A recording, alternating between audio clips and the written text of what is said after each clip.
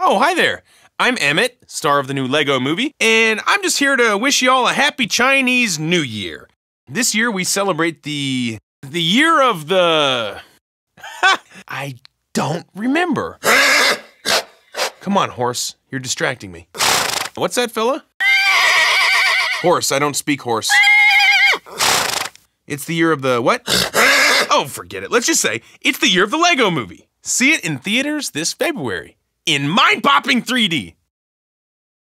Rated PG.